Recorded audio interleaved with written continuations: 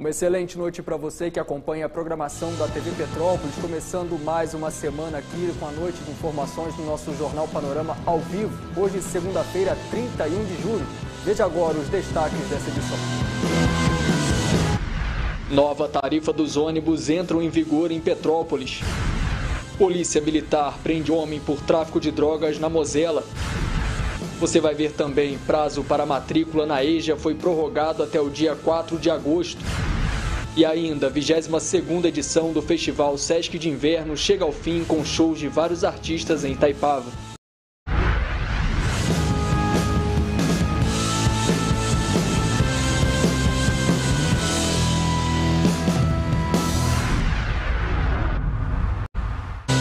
Sejam muito bem-vindos a mais uma edição do nosso JP. Muito bom estar de volta aí na sala da sua casa, aqui na tela da TV Petrópolis, em mais um início de semana para a nossa noite de informações. Agora 7 horas e 20 minutos. Já achamos sua participação nas nossas redes sociais, Facebook e YouTube da TV Petrópolis, onde você acompanha a nossa programação, compartilha o Jornal Panorama e traz também seu comentário, sua opinião, interage aqui ao vivo com a gente. Lá pelo finalzinho da nossa edição, a gente traz ao vivo também a sua participação. A partir de agora, fique com a gente, fique bem informado.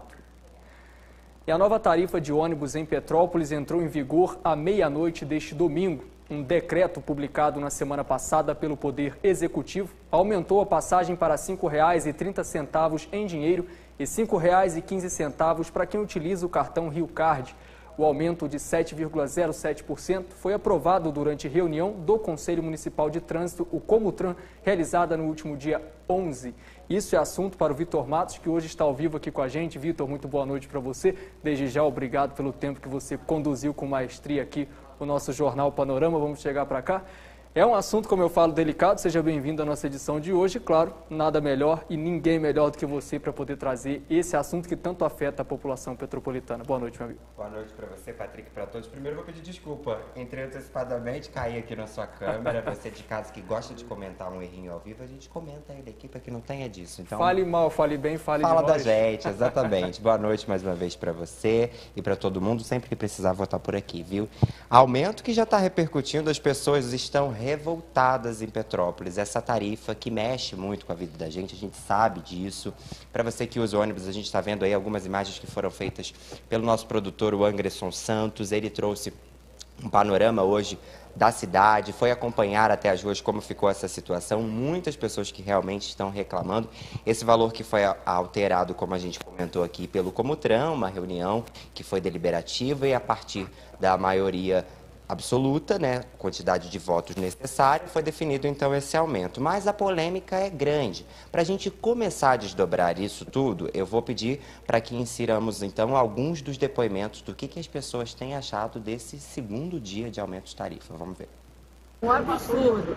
Gente tinha os ônibus estão todos carteados, não tem um ônibus inteiro, está sempre quebrando nos bairros, mesmo na cidade então, está muito cara a passagem, está pesando muito no bolso dos operários. É o que você está achando desse aumento da tarifa de ônibus que entrou em vigor?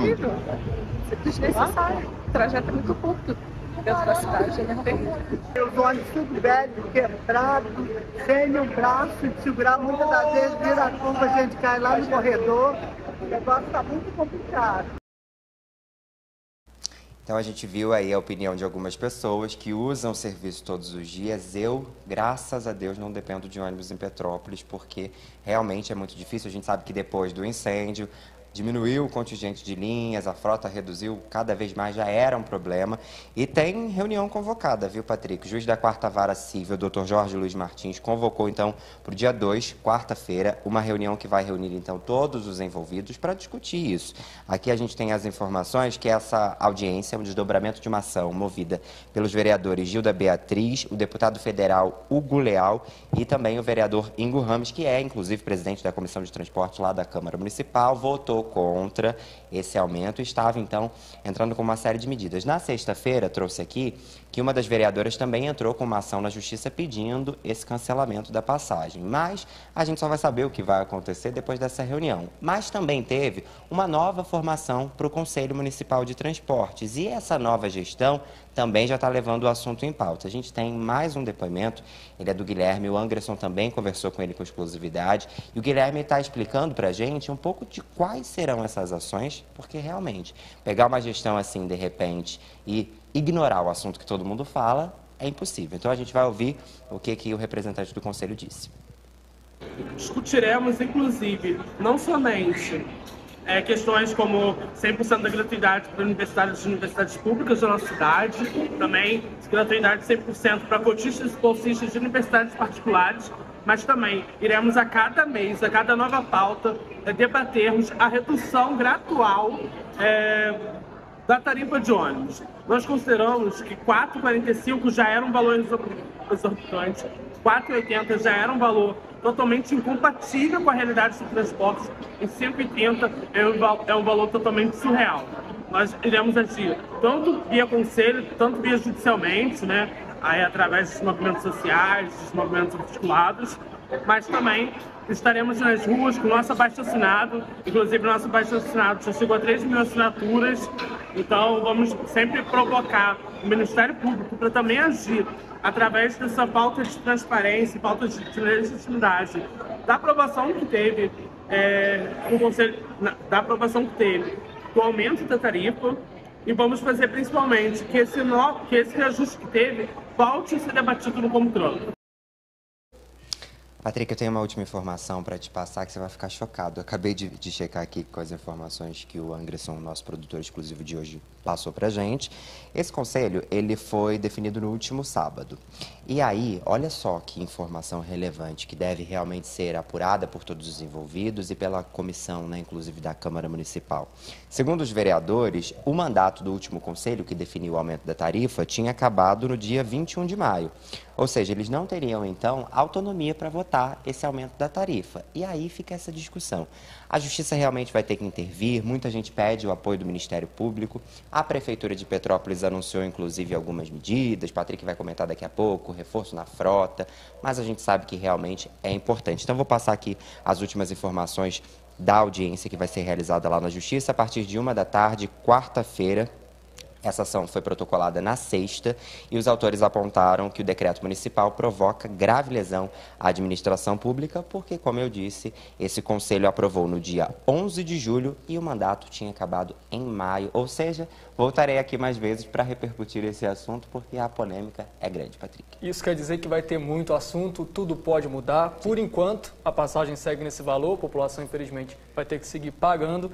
O que acontece é o seguinte: a gente sabe que lei deve ser seguida para todos. Se o mandato não estava mais em vigor, de fato não teriam autonomia para poder votar. Exatamente. A gente aguarda que a justiça seja feita e que isso seja revogado para que sim seja feita uma nova votação e seja feita da maneira correta. Né, Vitor? E detalhe importante, né? Como o Guilherme disse ali, a tarifa pode chegar a R$ 4,45. Olha a diferença, Olha quase um real na diferença do que a gente está pagando atualmente e poderia chegar a 5,53, segundo a proposta enviada pelo Sindicato das Empresas.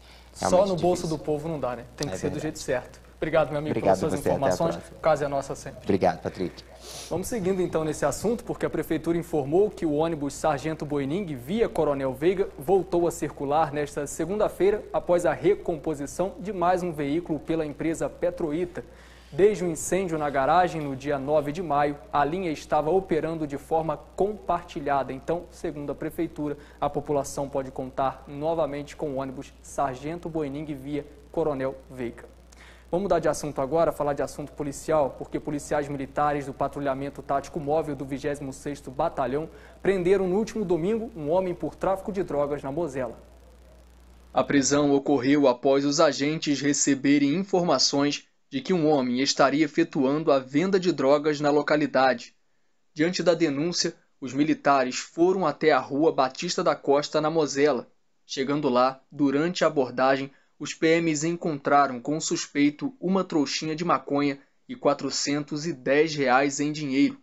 Quando questionado sobre o teor da denúncia, o acusado confirmou a participação no crime e levou a guarnição no local onde estaria o restante das drogas, na região, os policiais encontraram mais 117 trouxinhas de maconha e ainda uma réplica de pistola.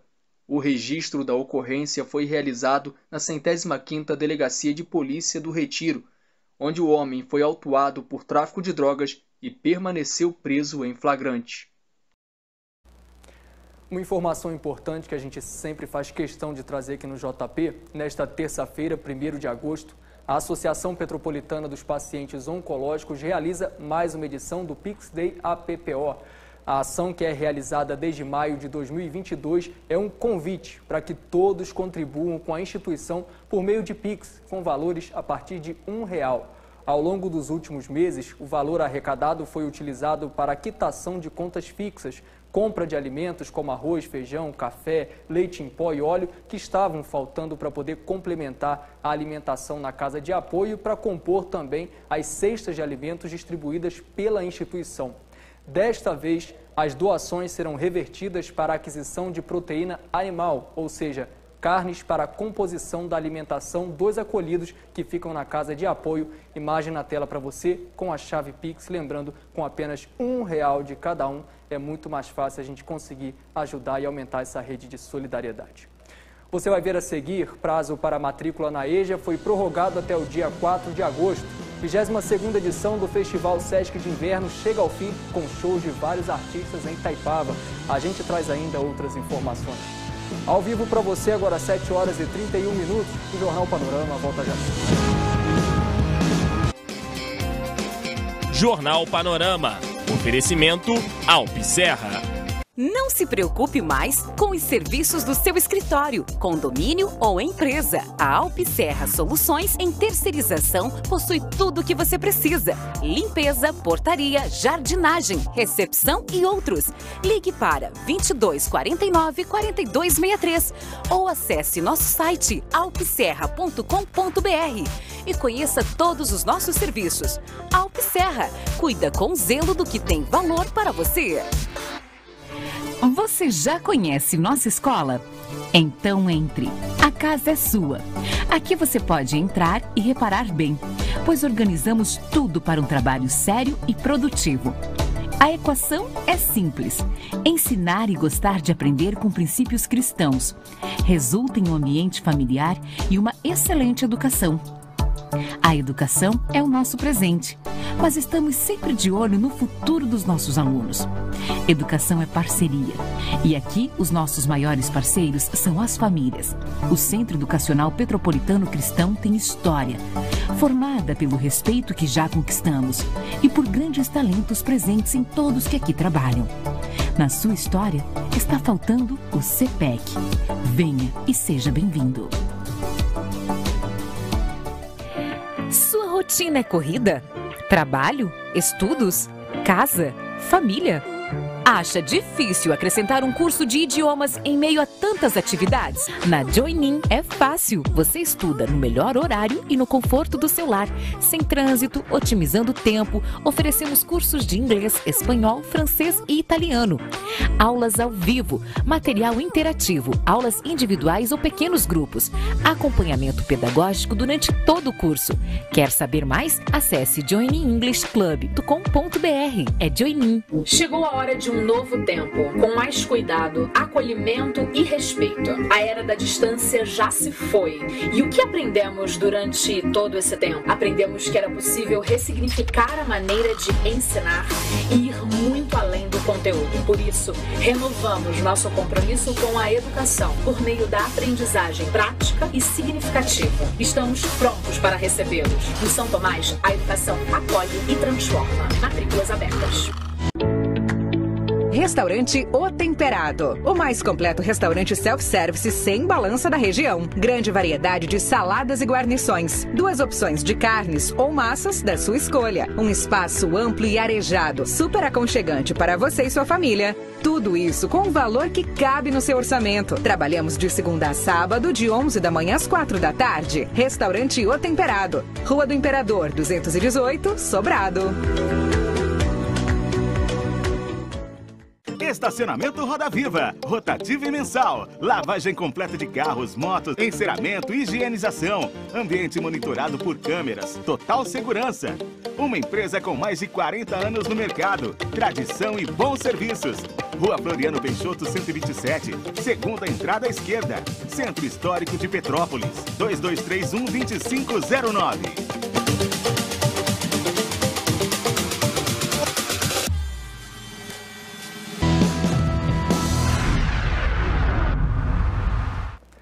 Estamos de volta, estamos ao vivo com o segundo bloco do nosso JP, agora 7 horas e 35 minutos. Agradecendo sempre sua audiência e companhia. Lembrando que daqui a pouquinho ao vivo também seu comentário e sua interação. A você que chegou agora à programação da TV Petrópolis, seja muito bem-vindo e continue aqui com a gente. Dando sequência aqui, porque a Secretaria de Educação prorrogou o prazo para a matrícula para a educação de jovens e adultos, a EJA, para o ingresso nas escolas da rede municipal de ensino para este segundo semestre de 2023. Rodou. Agora, a realização da matrícula para a EJA pode ser realizada até esta sexta-feira, dia 4 de agosto. Quem deseja voltar a estudar ganhou mais uma semana para o ingresso em uma das 13 unidades de ensino do município, que contam com a educação de jovens e adultos. É uma proposta que acontece no município para todos aqueles a partir de 15 anos completos não tenham ainda é, finalizado o ensino fundamental, é, até o nono ano. E nós estamos é, nas escolas, nas 13 unidades escolares que fazem atendimento à EJA para os anos finais, do sexto ao nono ano, é, como do sexto ao nono ano são módulos semestrais, nós estamos com as matrículas abertas. A matrícula pode ser feita na Secretaria de Educação, que fica localizada na Praça Visconde de Mauá, no centro da cidade, no setor de matrículas de segunda a sexta-feira, entre 8 horas da manhã e 6 da tarde, ou nas unidades de ensino que contam com a EJA. A pessoa pode escolher entre efetivar aqui na sede da Secretaria de Educação ou então na própria unidade escolar na qual ela deseja estudar. Para a realização da matrícula, é preciso levar os documentos de identificação e de escolaridade. Documentos pessoais da pessoa, e aí a pessoa vai ter que apresentar a... até onde ela estudou. Caso ela não tenha é, esse documento, nós temos a possibilidade de fazer uma prova de nível para que ela possa ser encaminhada para a série é, na qual ela poderá concluir os seus estudos. Adriana Salim, subsecretária de Educação, falou sobre a importância da conclusão dos estudos. A pessoa não precisa parar no ensino fundamental. A gente tem a oportunidade de fechar nas escolas municipais até o nono ano e após a conclusão do nono ano, esse aluno pode continuar seus estudos. Nós temos casos muito bem sucedidos de alunos que é, terminaram o fundamental conosco na, na modalidade de EJA, foram encaminhados para o ensino médio, que é a responsabilidade do Estado, e depois continuaram suas vidas é, acadêmicas, inclusive aqui no próprio Cefet. A oitava reunião ordinária do Conselho Municipal de Proteção e Defesa Civil foi realizada na última quarta-feira. O encontro contou com a presença de representantes da sociedade civil e teve como temas centrais o início das inscrições para o projeto Inovação Comunitária e a apresentação dos resultados da ferramenta Scorecard da, da iniciativa Construindo Cidades Resilientes 2030. Essa ferramenta é baseada nos 10 princípios da resiliência e vai ajudar na construção do plano de resiliência local que teve seu sumário apresentado na reunião. A Defesa Civil de Petrópolis, também lembrando, às 2h40 da tarde desta segunda-feira, retornou para o estágio operacional de normalidade, tendo em vista as condições de tempo estável no município. Então, estávamos aí em observação, voltamos à normalidade. A gente aproveita o assunto para conferirmos como fica a previsão do tempo nesta terça-feira.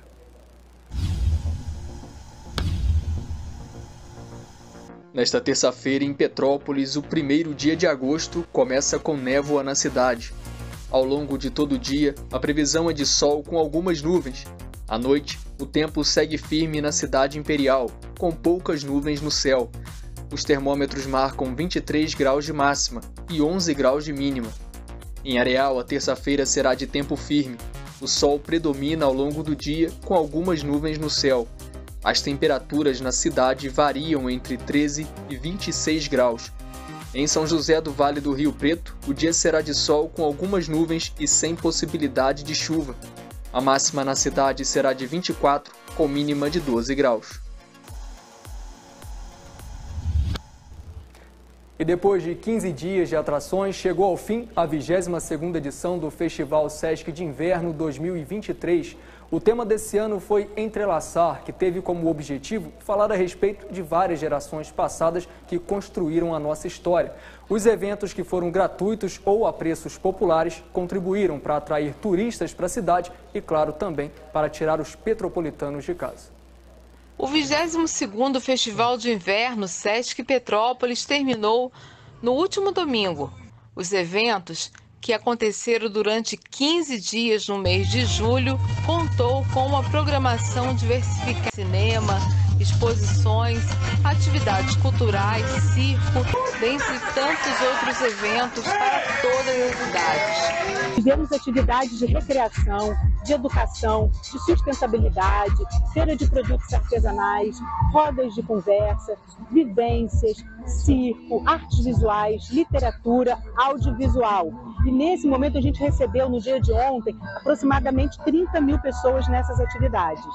É, na música, só na música, recebemos sete artistas nos palcos Horizonte e Origem, em público volante de mais ou menos 8 mil pessoas. E para finalizar, arrecadamos 3 toneladas de alimentos para o projeto Mesa Brasil.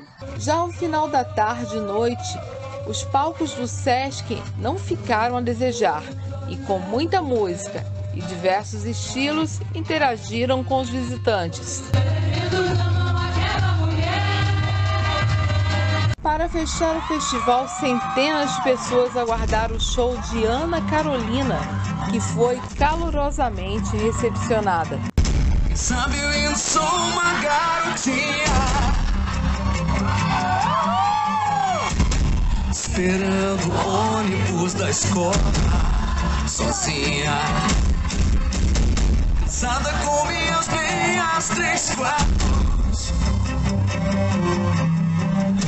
Rezando baixo pelos campos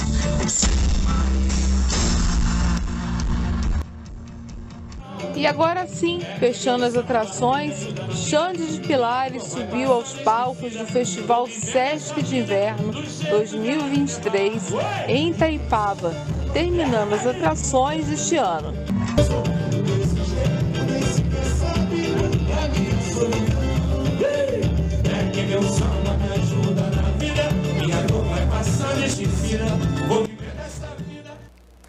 Agora é hora da palavra do professor na crônica de Efraim Alves.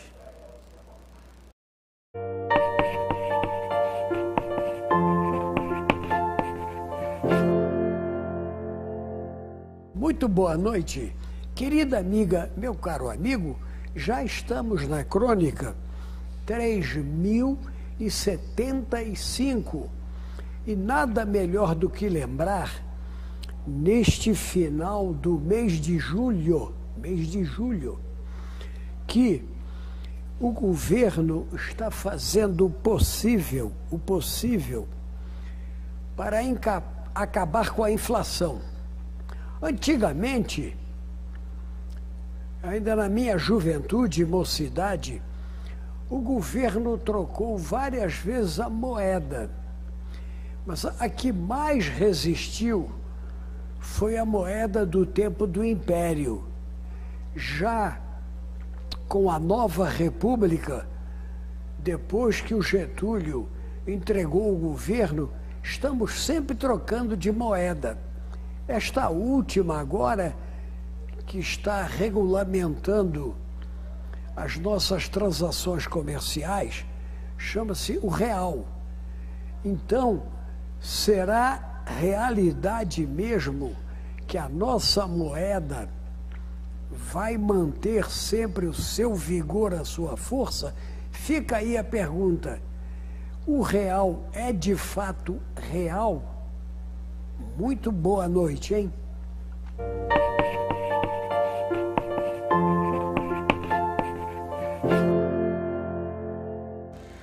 E chegou o nosso momento tão esperado, trazer seu comentário, sua interação. Antes, já agradeço a toda a direção da TV Petrópolis pela liberação. Primeira-dama passou por uma cirurgia, eu tive esse tempo para poder cuidar dela em casa, então muito obrigado a toda a equipe aqui do JP e mais uma vez ao Vitor Matos que segurou a onda aqui pra gente. Isabel Yoshin, boa noite, Patrick. Já estávamos sentindo sua falta. Um beijo no coração, Tiabel. Maria Pedro, boa noite, Patrick. Uma ótima semana para todos nós, Maria. O Anderson Santos também acompanhando. Obrigado pela audiência, meu amigo. Um abraço. Luiz Fernando, boa noite, Patrick. Sem você nessa noite é muito triste. Boa semana para você e sua equipe. Fica triste não, estamos de volta. Elane Maria, boa noite, Patrick. Ótima noite para você, Elane. Obrigado pela audiência e pela companhia. Temos mais? Sueli Rigo, boa noite, Patrick. Muito bom ter você de volta em nossas casas. Vitor também é um ótimo repórter. Isso aí, Vitor. Vitor está aqui ainda nos bastidores, recebendo o carinho de vocês também. E a primeira dama aí se recuperando, Tatiane Washington, boa noite, meu amor. Te amo, tamo juntos sempre. Ângela Maria, boa noite, Patrick e sua equipe. Ótima noite para você também, Ângela. Obrigado pelo carinho. E a Valéria Stark também acompanhando a nossa programação. Ótima noite para você, Valéria. Obrigado pela audiência. Carmélia Paulino também desejando boa noite pra gente. Carmélia, ótima noite para você. E a Márcia Washington, a sogra, também desejando boa noite aí pra gente. Toda a equipe agradece o carinho de cada um de vocês. O Jornal Panorama de hoje termina aqui, mas a semana está só começando. Agora você segue com a nossa programação. Oito e meia da noite ao vivo, o programa Happy Hour com Mari Rodrigues. Para você, uma excelente noite e até amanhã.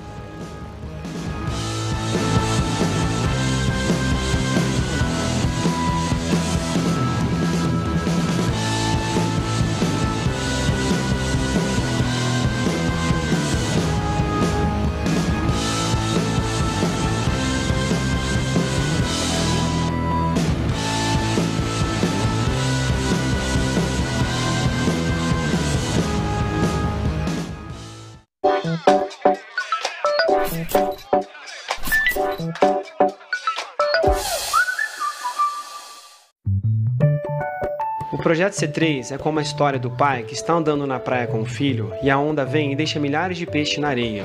O garoto sai correndo, pega um peixe e joga dentro d'água. Pega outro e joga. O pai se aproxima dele e diz: Você não vai conseguir, são milhares de peixes.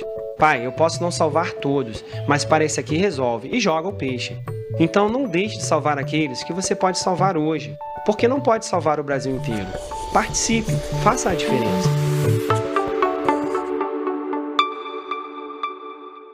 Você sabia que estudar relações internacionais, criar um filme, programar robôs e cultivar uma floresta sustentável pode ser praticado já no colégio? Fato é que pode, mas isso você só encontra no Colégio Queller. Com o conteúdo forte do sistema de ensino PH e a maior plataforma de ensino digital do país, ensinamos o que ninguém ensina de um jeito único, com atendimento personalizado e em localização privilegiada. Colégio Queller, da educação infantil ao ensino médio, formando agentes da transformação. Nós do Cantinho Gourmet, pensando nesse momento de pandemia e preservando a sua saúde, atendendo às exigências da